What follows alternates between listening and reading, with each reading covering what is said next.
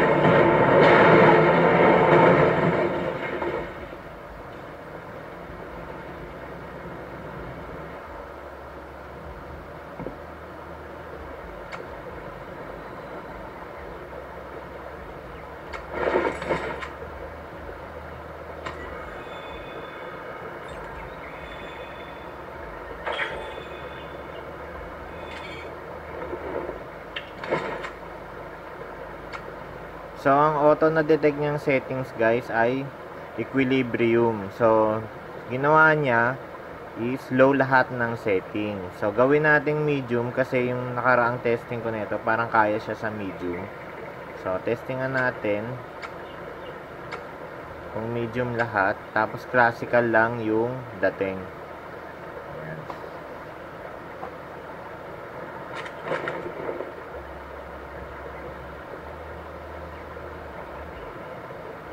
So sa auto-detected na settings, ang na-detect niya is low lahat.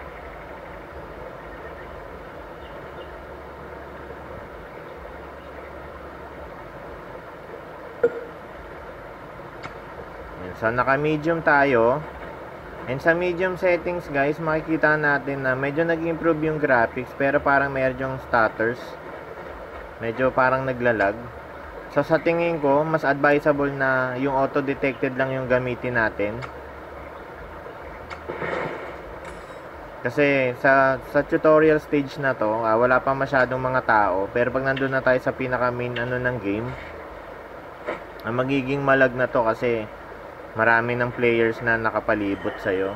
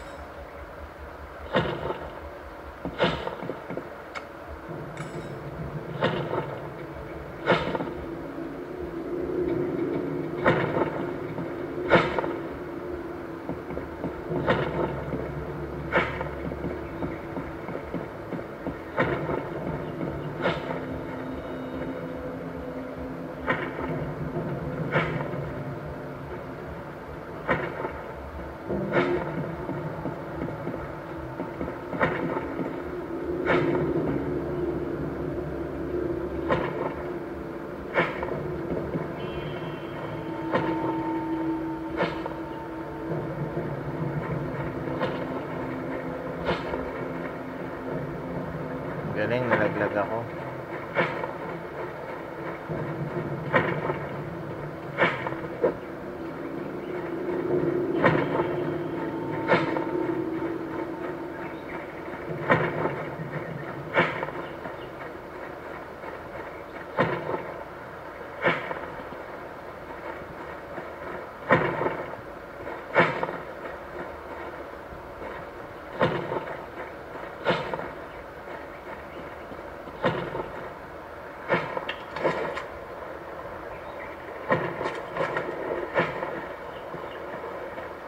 Nalaglag tayo.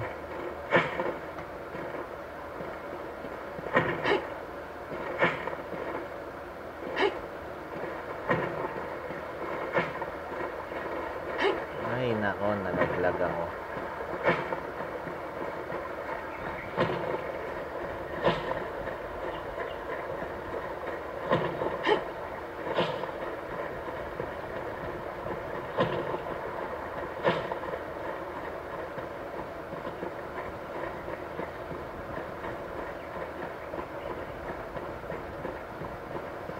Yan, so kung gusto nyo laruin yung Life After guys, ah, kaya naman siya ng Cherry Mobile Omega X. Kaso nga lang, pag tinasan pa natin yung settings, pag nandun na tayo sa pinaka main zone, magiging lag na yung game. So sa auto detected na, na low settings, yun lang yung pinaka advisable na settings para sa kanya. Yan. So if you like this video guys, don't forget to like it. Kung hindi nyo naman type, dislike it. And for more Pinoy Tube videos, don't forget to subscribe. This is King of Pinoy Tube, signing out. Thanks for watching. Bye. no, no, no.